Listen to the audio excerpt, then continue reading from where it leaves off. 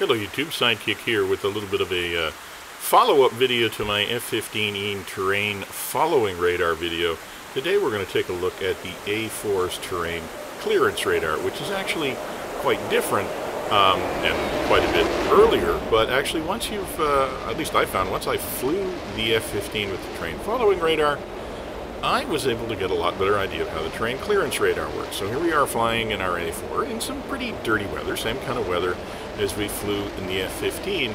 So let's go in the cockpit and get the uh, terrain clearance radar set up and see if we can use it. Okay, here we are jumping into the A4 cockpit. Uh, as you can see, it's kind of crappy weather. We're, we're basically going to fly the same trace that we did in the F-15 video and, and actually use the same weather. So a lot of it's going to be similar. That's going to be helpful uh, in helping us compare the two systems.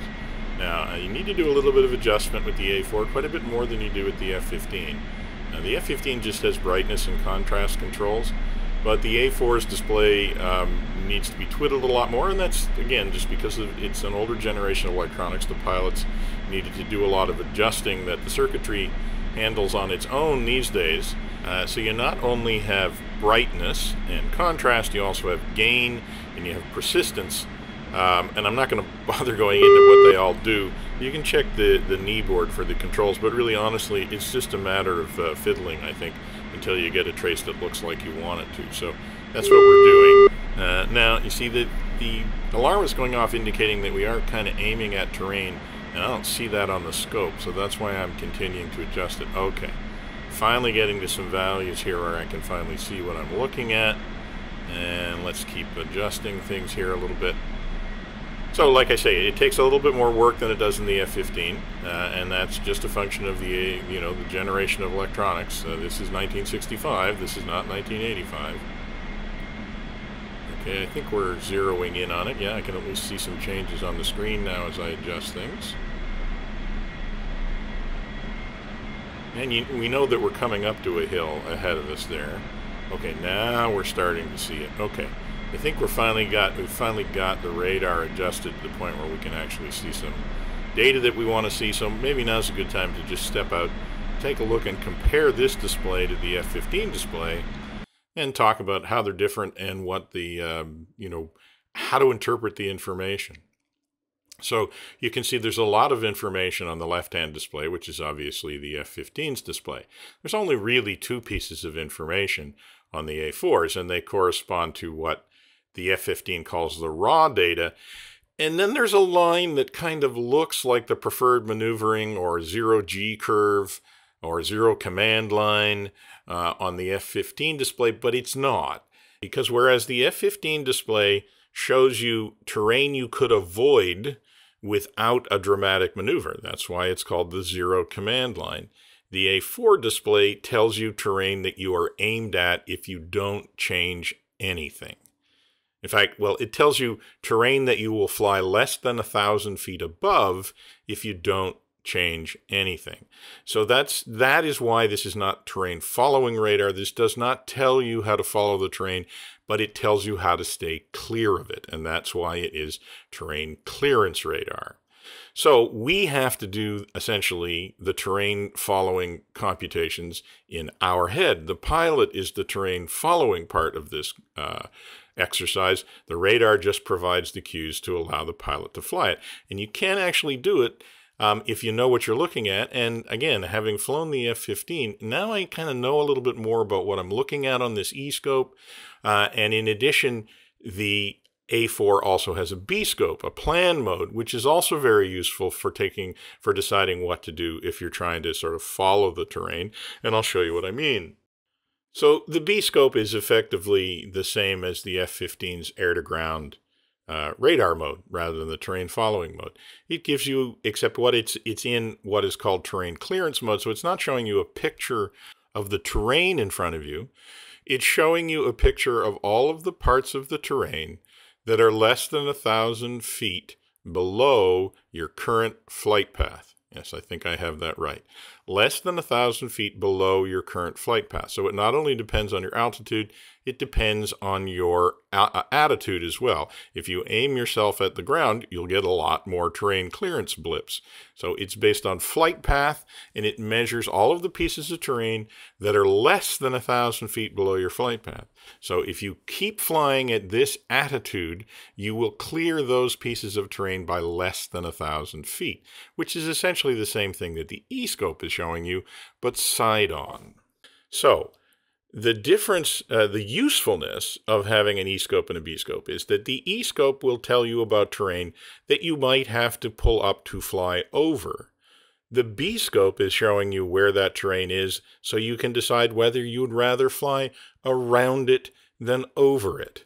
So for instance, in this B-scope uh, image that we have on the screen now, you can see there is essentially a pathway through that sort of goes off to the top left. So uh, if we miss the first uh, piece of ground that's just there, just to the right of our flight path, and then start turning to the left, we'll actually be able to fly down the valley. And I'll show you how this works uh, as we fly along. We'll flip back and forth between E-scope and B-scope, and it's actually pretty useful in trying to plan a route. So let's get back in the cockpit and take a look at where we are. You can see we are coming up to this hill right on the coast. If you look at the E-scope, you can see that we're pretty far above it, but I'm going to turn off this tone so we don't hear it anymore. Um, so we can actually go a little bit lower. Now remember, you can see as I raise and lower the nose, that's going to cause the warning light to come on. So again, it's not based on how high we are, it's based on where we're pointed. If we're pointed too close to the top of the hill, we get a warning, we have to raise the nose. Now if you think about it, this is exactly what the terrain following radar in the F-15 does automatically, except now we're having to do it ourselves. We get a warning light, raise the nose. You get, don't have a warning light, drop the nose until you get a warning light, and then you raise the nose. That's how you follow the terrain. At the same time, though, uh, so now you can see we get a nice a curve that follows the line pretty well. That just means it's flat. So we're looking out ahead of us here, and we can see that there is that uh, that obstacle light, which is pretty far in ahead of us, is actually um, the start of the valley that bends to the left, and we could see that on the B-scope. Now, remember, if you're going to do this flipping back and forth, you won't see anything on the B-scope if you don't have a warning light. Because if your flight path vector is not going below your terrain clearance altitude, nothing shows up on the B-scope. Yeah, we can see now that break is getting a little closer to us, that obstacle, so we need to turn a little bit left and try and line up with that B-scope trace. And again, we're a little high, so we're not seeing much. Let me just get it back so I can actually have a light to take a look. Yes, we can see the path going off to the left. So you can see I'm doing a lot of working with the radar as I'm flying the aircraft. I can't see bugger all out the window, so I'm not really looking out the window, I'm looking at the scope. So now you can see we've got a, a situation where the train is actually pretty flat, uh, but we are um, not clearing it by as much as we want to. Oops, now if you look at the E-scope, you can see we have a high ground in the foreground, see on the vertical part of the trace, and then it drops off. So that turns out to mean, if we look at the B-scope, we've got a little knoll that we're just coming at the left-hand side of the knoll. And so we can actually go around that obstacle by veering off to the left. And now we can tell by looking out the window, now it's cleared up, that actually that's because we're a little bit far right in the valley. We're not flying down the middle of the valley the way we were in the F-15. And that brings up a point, I'm just, I'm just going to pause the video here for a minute and talk about another difference between the F-15 and the, F, and the A4. And that's the difference of how digital navigation is handled. The A4 does have the capability of doing uh, digital navigation, but it's kind of limited. And like all of the other electronic functions in the A4, it requires a bit of pilot input to make it work. So instead of having a cue on the HUD that tells us exactly how to get to the waypoint, we could set the next waypoint. We might very well have to put it into the nav computer, and we could follow the HSI, and we could do all that.